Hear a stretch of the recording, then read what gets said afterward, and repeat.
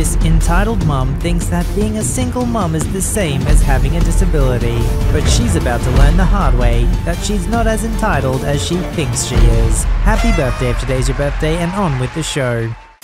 This happened back when I was around 11 or 12 years old, many years before entitled parents became an everyday occurrence or at least as frequently recognized as it is today. So at this time, my family had just moved to a new town, I had started a new school, made some new friends, and the June holidays had just started. I guess I should add that I'm South African, so we have several short holidays every year, as opposed to the extended holiday you guys have in the States. The June holidays was the long one though, which ran for around 3 weeks. As this was my first holiday in my new town, and I already had quite a few new friends, I had made a lot of holiday plans and was pretty psyched. Unfortunately though, my mother had different plans for me. Before I continue, I should mention that my mother passed away around 3 years after this, so even though she was mostly to blame for what happened here, I'll appreciate everyone talking about her respectfully. My mother was a decent enough mother in person, yet she always felt the need to impress others. I mean, she would do anything to make herself look good, quite often shooting us in both feet to accomplish this. Shortly after we had moved to the new town, my mother had befriended a married couple that lived up the street.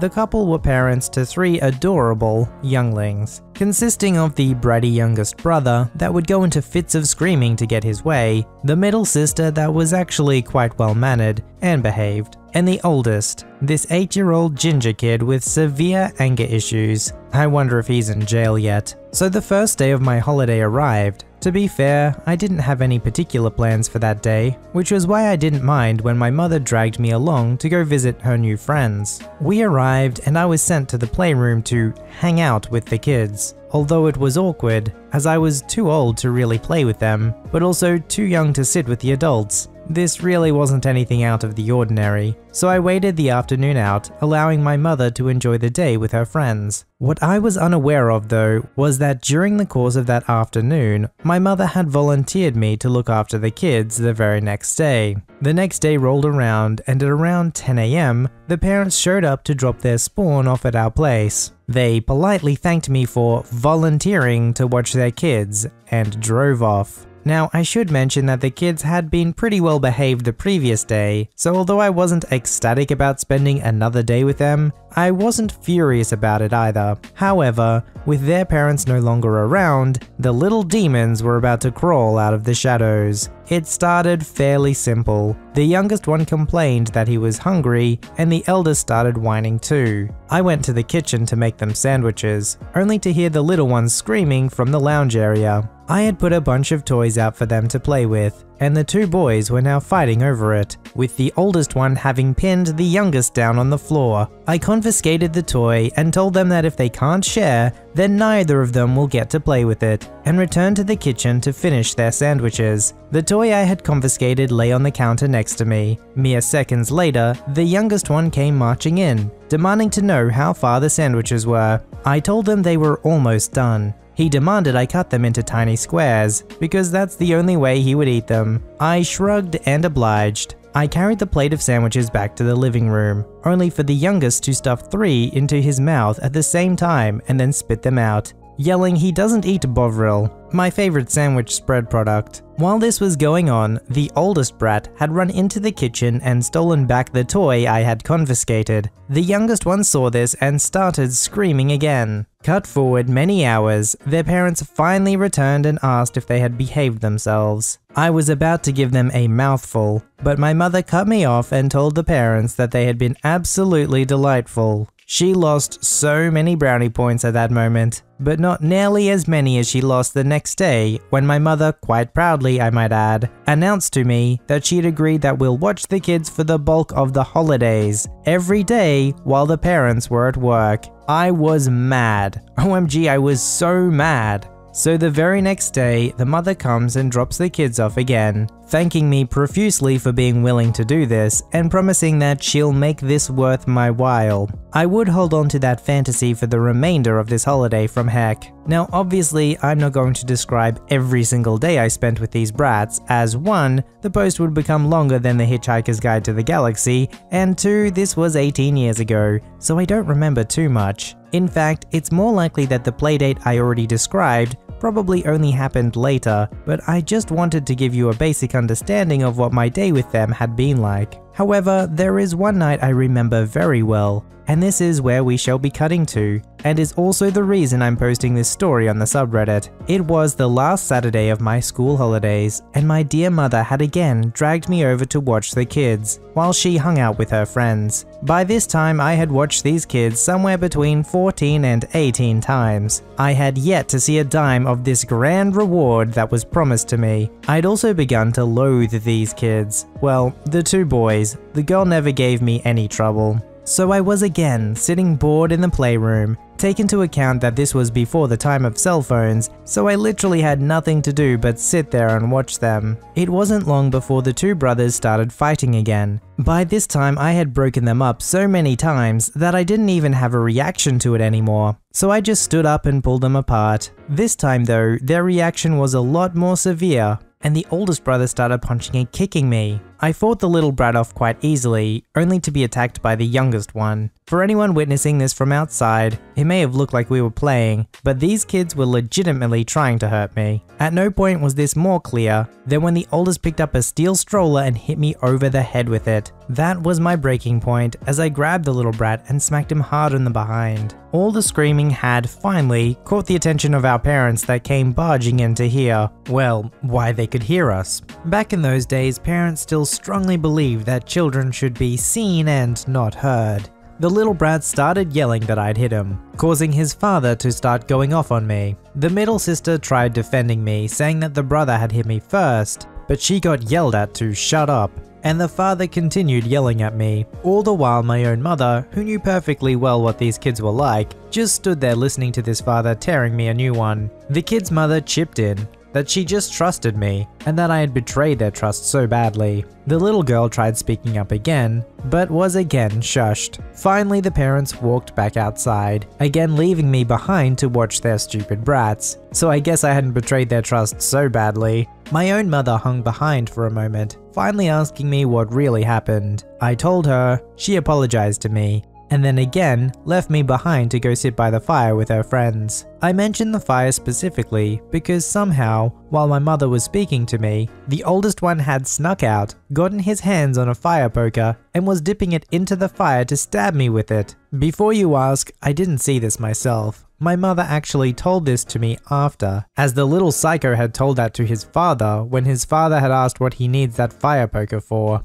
Cut forward to Monday, my last day of the holiday, my last day of watching these monsters before returning to school the next day, and the day of my great reward. I was hoping the Saturday incident wouldn't count too much against me, as the father had later apologized to me after my mother had told them what really happened, and the sister had confirmed my account. I'll admit I don't remember crap about what happened that last day, not until the very end with the parents arriving, rushing the kids out of the house, and handing me a plain chocolate bar and saying, Thanks for watching the kids all holiday! There really isn't any other end to this story. No big fallout, nothing unbelievable, just the reality that these parents had justified it to themselves that a chocolate bar was enough payment for someone that had just spent the majority of his holiday watching their demon spawns. I confronted my mother about it, asking her how she could be okay with this, but she had just said it's not worth getting upset about. After a month later, they had a falling out about something unrelated and never spoke again. They were not present at her funeral. Freaking jerks. I don't know how they could possibly justify in their mind that a chocolate bar is enough compensation for babysitting over the whole holiday season. I mean, what does that compensation come out to? Like one cent an hour or something? I don't even know what you could do in that kind of situation though. If you asked up front what were they going to do as the reward, I doubt they even knew at that point in time. They knew it wasn't going to be something much though. But you're also not really old enough to stand up for yourself and be like, nah, I'm not going to do this, cause what are you going to do? Some context before the story. This happened a few weeks ago, and I was getting groceries for my dad, who's now 64 years old. At the supermarket really close to my house. The Asperger's syndrome one. This is going to be important for later. On that day, I was using a nice mask of Spider-Man. Yes, it's a Spider-Man one, and I actually really love it, because I'm a fan from Marvel. Made by my mum, who really loves making stuff with fabrics and things like that. She's now making masks for sale, and donates for some people. At the supermarket, I just got the stuff and I go to the special line to wait on it, because I discovered I can use it because of my autism. An entitled mum had just got to the line with her 7-year-old EK, and tried to cut me and a nice 67 year old woman in the line. Hey, why'd you cut me? Oh dear, did you just cut us in the line? I'm just going to pass some things. It was almost 50 items with gummies, Doritos, soda, and of course toilet paper. It's gonna be quick. The nice employee, Annie, hey, please come back on the line. I was scanning her items, points to the nice old lady. Uh, okay. It was okay on that part, just a little bit of craziness. But it's okay. For no reason, people are cutting the line for everything here in Brazil in this quarantine time. But the kid just enters in the story. Mom, I want a mask like that. Points at my mask. I just think in that moment, frick. My kid has been nice this whole week. Can you give your Superman mask for him? He needs it. First, this is not a Superman mask, it's from Spider-Man. Second, it's my only mask who my mum made for me. And three, it's not safe to give someone a mask that another person's using, so no, I can't give it to your child. Shut up, you idiot. Also, why the heck are you here in this line? This is a special line, and you look like you're 11 years old. What the heck, I'm 15. He's here because of his autism condition. Now the special line accepts people with autism. Look at the sign. Points to the sign at the autistic symbol. Basically, it is that kind of scarf that is used the months to show about breast cancer, only made with colored puzzle pieces. This is crap. Why can he go on the line if I'm a single mom? I can't do it for nothing, lady. So at this point, I saw the face of EM turning red, and the impossible happens. You know what? You're a little autism censored. I've had enough of this freaking society not helping single mothers like me. After she said that, she just holds onto my face, on the part of my nose and mouth, to take off my mask, who literally made me almost suffocate because she's pressing her hand against my face, grabbing so hard on my mask. This was painful. After this scene was going, the guards saw this and just got running from the EM, with the EK cheering for his mum, while I was almost suffocating, me struggling for air. Please, I can't. Give me your mask, you little son of a bitch! The guards were pushing her off me with a powerful push that just breaks the elastic of one of the sides, making it a pendant on one of my ears, and her hand was gone from my mouth, finally. I just tried to fix it, but it was broken for real, and I started to sob, because it was one of the worst moments I've ever had in my entire life, and that mask was the only one I have of it, and I really love it. Me now sobbing. What the heck? You just broke my mask! Come on, my mom made it with a lot of love for me. Hehehe. now you don't have a mask. EM now being held from the guards. Let me out, I have rights. Holy crap, I am so sorry. I can make some discount for you. Me cleaning my tears. It's okay, thank you. Are you okay, kid? She really had strength in that arm. I'm okay, don't worry. EM still screaming nonsense. Get your hands off of me, you N-word. Yes, she literally said that for real. An equivalent for the N-word but in Portuguese. The guards just took her to the exit of the supermarket, with the EK following her mum. Well, the closure of my story was, my mask got fixed by my mum. Thanks mum, I love you so much. She got banned from almost all the markets, supermarkets, hypermarkets, something markets, from my city, and also I'm fine. I don't need to be worried about it. There's a big difference between being at a disadvantage and actually being disabled. Yes, being a single mother, it does mean that you'll be at a disadvantage and some things will be harder for you. But even families with a mum and a dad often just have one parent that takes the kids to the shops anyway, so you're probably in a very similar situation to other parents whilst you're at the shops themselves. Whereas if you have a disability, that's something that you carry with you everywhere you go for potentially the rest of your life. Even if single motherhood was somehow on the same level of disability, how does that give you the right to push in front of them in the line? That makes no sense. The backstory. So it was EM's son's wedding, and it went pretty normally. I wasn't there, so I really don't know about it in much detail. I was giving my exam at the time, and there is somewhat of a ritual where the families from the groom side throw parties after the wedding is over in terms of celebrating a successful wedding. And my family and my aunt, yes, the choreographer from the last post, decided to throw the party together so that we could divide the work like prepping the food, the decoration, and so on, since neither of us were really interested in throwing a party after EM's behavior and how she treated us. We informed that we will be throwing a combined party so that we could save on money, and EM started screaming at my dad and my uncle, saying that she wants separate parties because it's tradition. She didn't throw a party at my dad's wedding, and she said that if she wasn't given separate parties, she wouldn't be giving us the wedding DVDs and our reception pictures, and started squabbling about how we ruined her son's wedding, and we are responsible for everything, and now we won't even give them two separate parties because we are cheapskates. Main story. So now my uncle and dad were angry. My parents and my uncle and aunt, so none of the kids were there, went to their house to discuss about the situation and end the whole fight that was made up for no actual reason. Note, from here I am paraphrasing everything off of what my dad told me about what happened at the time. They discussed about the wedding, first on who actually ruined the Sangeet and Haldi celebrations. They discussed about how much money the two of our families, mine and my uncle's, had lost money on the celebration because of providing food during the days we practiced for the Sangeet and the amount of damages they did to our homes in terms of breaking, stealing stuff, and leaving the place completely dirty, and still complained about the food. The food was amazing at the time for your information, and how bad the dances were, and how my aunt got paid literally one tenth of the amount of a normal choreographer for one dance. After that, they discussed about the parties and why she wanted two separate parties, and after discussing more, more like arguing, about it for two hours, EM gave in and said that she wanted two parties because of course, it's more than one,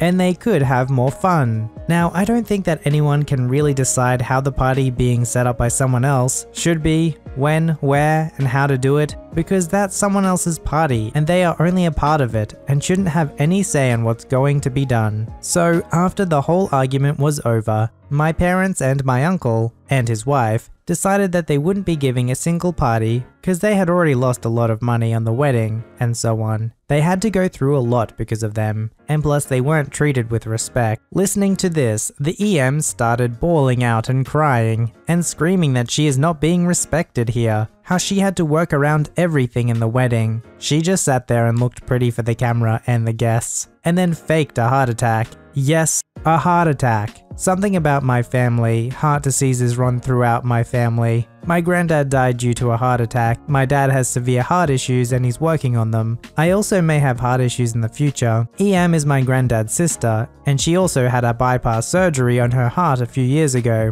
and she was high risk too. So even though she was faking it, everyone believed it. The ambulance and everything was called, and when the medic said that she will have to be taken to the hospital, she magically got fixed and saying that she was completely fine and safe. Nothing happened to her and it was just a small stroke. She just didn't want to pay hospital bills. She's delusional as heck. And she immediately stood up and did a little exercise to prove she was fine. My dad said it was hilarious and embarrassing to see that his own blood acted like monkeys and apes and how manipulative they can be. So my family finally decided not to throw a party and breaks ties with the whole family and it's been two years since we've spoken to them. Conclusion. So we broke ties with EM's family and they didn't get a single party because of their own narcissism and butthole-like nature. It seems like if there's any time for family drama to come up, it's at one of these big type of events, a funeral or a wedding. So if you've got something big coming up and you know there's going to be potential drama, my guess is that you should probably sort it out before the event actually happens because it's probably going to come out anyway